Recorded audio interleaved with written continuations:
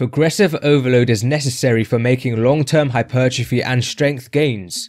Simply, it refers to progressing your training sessions in some way. Conceptualizing progressive overload as a cycle works well. A challenging training session evokes muscle and strength gains. These gains enable you to apply progressive overload, and in turn, this application of progressive overload sustains a challenging training session. Two popular ways to progressive overload are with all other training variables constant, either increasing the load you use or the number of repetitions you perform. However, how do these two progressive overload forms compare to one another for long-term hypertrophy and strength?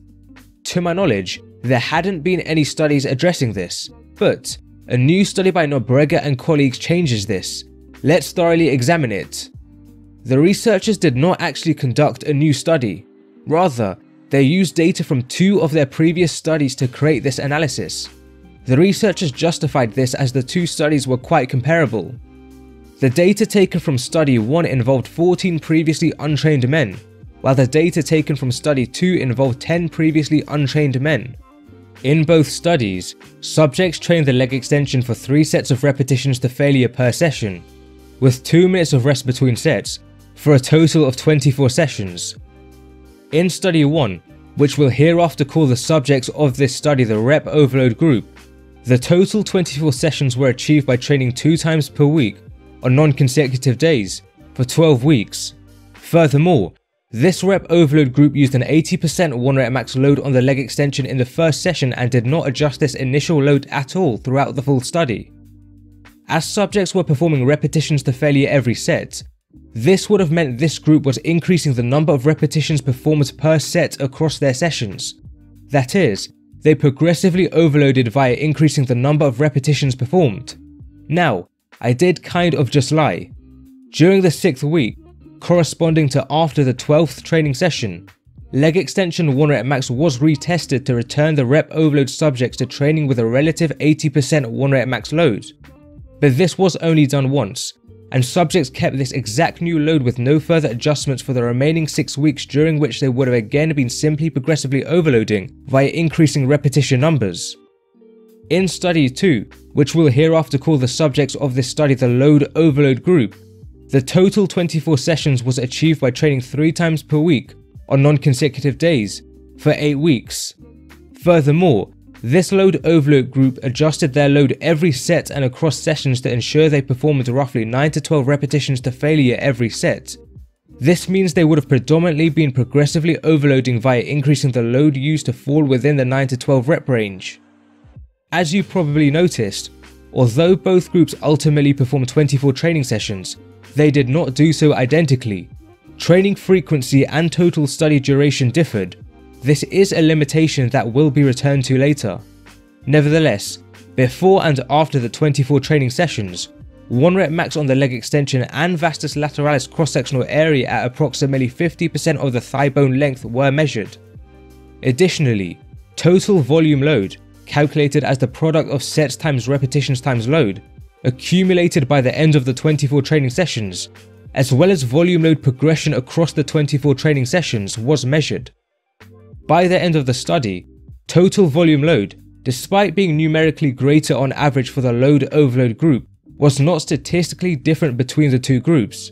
However, progression of volume load across the 24 sessions was statistically greater for the load overload group compared to the rep overload group.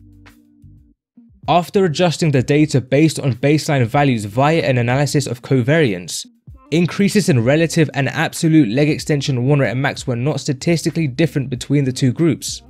Note, relative increases can be thought of as percentage changes.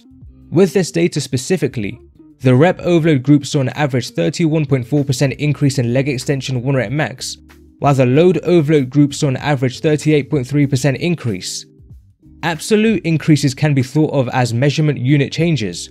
With this data specifically, the rep overload group saw an average 14 kg leg extension 1 rep max increase, while the load overload group saw an average 15.3 kg increase. Moving forward, also after adjusting for baseline values via an analysis of covariance, increases in relative and absolute vastus lateralis cross-sectional area was statistically greater for the load overload group versus the rep overload group. So overall, this data potentially suggests for increasing 1 rep max, there may be no difference between progressively overloading via increasing load or repetition numbers, but for hypertrophy, increasing load may be superior to increasing repetition numbers. Quite interestingly, when combining both groups' data, although the researchers did not find a significant correlation between the total volume load accumulated by the end of the 24 sessions and 1 rep max or vastus lateralis cross-sectional area gains, a significant correlation was found for volume load progression across the 24 sessions and gains in 1 rep max and vastus lateralis cross-sectional area.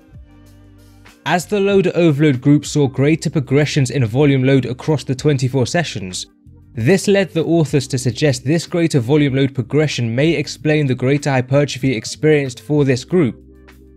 Having detailed all of this, there are some extremely important limitations and counter evidence. Let's explore this to derive some more informed conclusions. Firstly, recall this study combined and analysed two independent studies together and as such it was not a randomized controlled study. Secondly, it's interesting that both groups saw similar 1 rep max gains, yet it's more than likely all subjects trained suboptimally for strength. Both groups trained with loads that enabled 8 or more repetitions per set.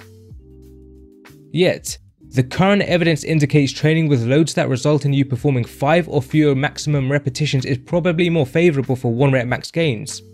For example, Schoenfeld and colleagues found with the back squat and bench press, adjusting loads every set and across sessions to maintain 2 to 4 repetitions to failure produced larger bench press and back squat 1 rep max gains, versus adjusting loads every set and across sessions to maintain 8 to 12 repetitions to failure. One question arising from this is what if both groups simply started with a 2 to 4 rep max load, with one group progressively overloading via adding reps from hereafter, and another group simply adjusting load every set and across sessions to maintain 2 to 4 repetitions. Would both still be similarly effective for promoting 1 rep max gains? Hopefully future research explores this. Thirdly, we know that although both groups ultimately performed 24 training sessions, they did not do so identically. The rep overload group performed 3 leg extension sets 2 times per week for 12 weeks, meaning they performed 6 leg extension sets per week. The load overload group performed 3 leg extension sets 3 times per week for 8 weeks, meaning they performed 9 weekly leg extension sets. However, using other data, it's actually difficult to say this is a true limitation. The evidence indicates when performing 10 or fewer weekly sets for a muscle or exercise, as both groups were doing, training frequency does not seem to matter for strength or hypertrophy, that is, whether you perform these 10 or fewer weekly sets for a muscle all in one session, or across two or more days does not really matter. So neither training two or three times per week are inherently superior to each other in this regard. However, the load overload group did perform 9 weekly sets on the leg extension, while the rep overload group only performed 6 weekly leg extension sets. Based on the current data, it's probably likely that on average, Performing 9 weekly sets for an exercise or muscle is better than fewer for hypertrophy and strength. Thus, on a per week basis, the load overload group was likely gaining more. However, remember the load overload group only trained for 8 weeks to reach the 24 sessions, while the rep overload group trained for 12 weeks to reach the 24 total sessions. Thus, these studies' duration differences likely cancel out the per week growth differences ultimately probably meaning that the use of different training frequencies may not be a major problem. Having said all of this, it's important to note muscle and strength gain are not constant. Generally, each week an individual would incrementally experience fewer gains. This throws another curveball and makes the comparisons pretty confusing. Therefore, overall, it's truly difficult to comment on how these differences in training frequency and study durations between the two groups impacts the results it would have been much better to have controlled these variables.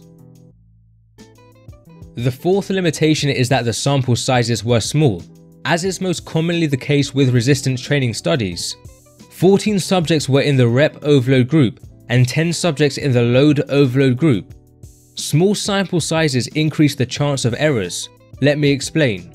Different individuals, despite training with exactly the same training variables, can have very different outcomes. For example, Hubal and colleagues had 243 men and 342 women train preacher and concentration curls for 12 weeks. On screen is a graph illustrating how the subject's biceps cross-sectional area was impacted by training. Most individuals tended to experience a 10% to 30% increase in biceps cross-sectional area, but there were individuals experiencing well above this as well as individuals experiencing gains well below this.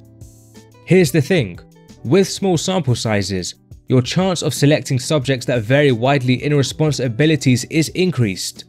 Expanding on this, we know the Nobrega data found that the load overload group experienced higher vastus lateralis cross-sectional area gains versus the rep overload group, but it's entirely possible, due to the small sample sizes, the load overload group consisted of subjects with an average better muscle building ability versus the rep overload group. Thus, this would explain why the load overload group saw greater vastus lateralis gains, and not necessarily that overloading via load increases is superior. The fifth limitation relates to the measures and variables used in the study.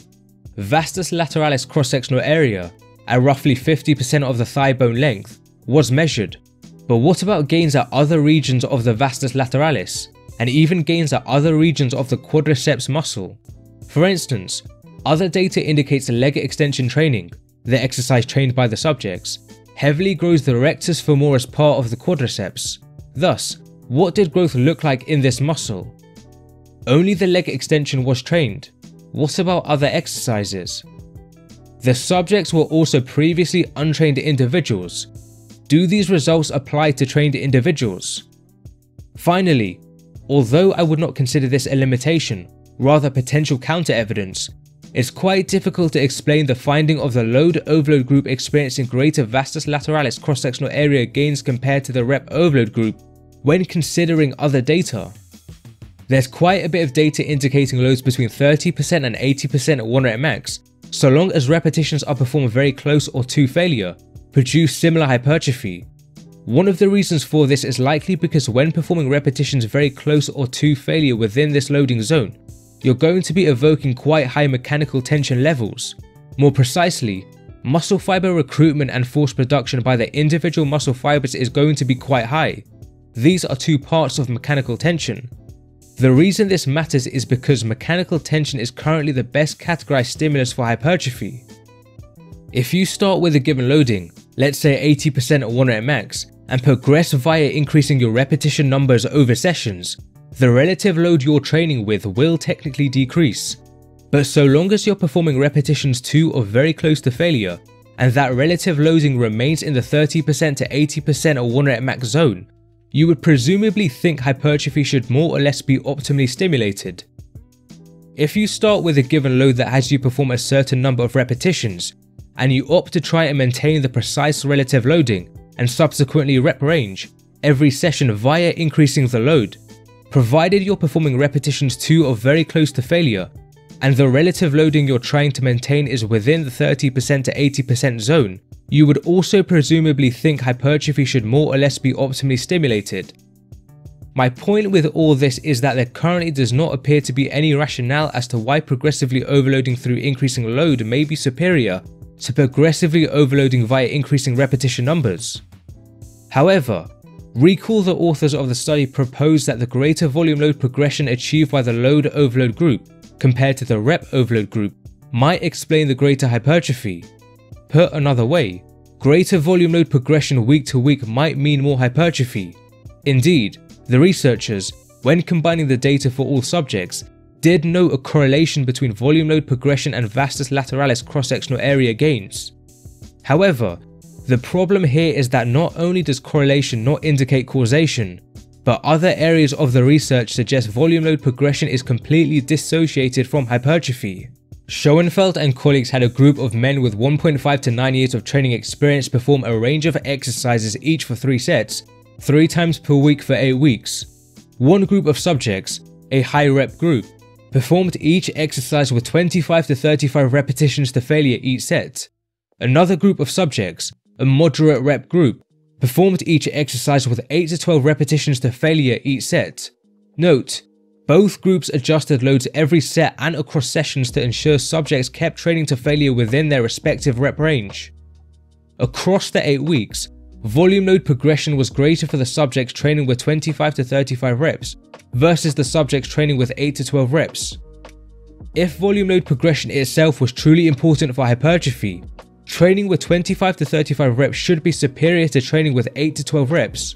Yet, as we've mentioned already, loads between 30% and 80% of 1 rep max, which would include the aforementioned rep ranges, are likely comparably effective for hypertrophy when repetitions are performed very close or to failure. Another study by Brigatto and colleagues either had men with 2 to 8 years of training experience target a specific muscle all in one session, the 1 times group, or across 2 sessions a week, the 2 times group. All other training variables, including weekly set numbers, exercise selection, and rest interval duration between sets, were the same between both groups. Across 8 weeks of training, volume load progression on their exercises was greater for the 2 times group versus the 1 times group, Yet, increases in thickness of various muscles were similar between both groups, again indicating volume load progression may not be predictive of hypertrophy. Two studies by Souza Jr. and colleagues, which we've thoroughly evaluated in a previous video, fundamentally seem to compare progressively overloading via decreasing rest interval duration between sets to increasing load. Despite volume load progression across 8 training weeks being larger for the subject's increasing load, Increases in arm and thigh cross-sectional area were similar between the subject's decreasing rest interval durations between sets and the subject's increasing load. Finally, as just mentioned, these two Souza Jr. and colleague studies indicated that as a form of progressive overload, decreasing rest interval durations between sets was as effective as increasing load. Of course, these studies did have their own limitations, which we've addressed in a previous video. However, if we took these findings literally and combined it with the findings of this Nobrega study, that is, we'll literally assume increasing load is better than increasing repetition numbers for hypertrophy, using some illegal maths, we would come to the conclusion that as decreasing rest intervals is similarly effective to increasing load for hypertrophy, but increasing load is better than increasing repetition numbers for hypertrophy, decreasing rest interval durations between sets would be better than increasing repetition numbers for hypertrophy. I'm sure many would agree this is an odd conclusion. The only way to truly assess the validity of this would be to have further studies comparing these different forms of progressive overload. In summary, although this analysis by Nobrega and colleagues was highly interesting, numerous limitations and potential counter-evidence exist. As such, I believe we can be nowhere close to definitively concluding that increasing load is better than increasing repetition numbers for hypertrophy or that both methods are similarly effective for strength. Further research is unquestionably required. Before closing out, I should note that I came across a post by Menno Henselman briefly detailing this Nobrega and colleagues analysis in an Instagram post, on which Brad Schoenfeld, a resistance training researcher, not only gave his brief thoughts, but also stated that his team has conducted a study on this topic, with the results to be released soon. When his study does get published, I 100% plan and look forward to covering it on the House of Hypertrophy channel. As always, thank you for watching. I hope this video was insightful in some way.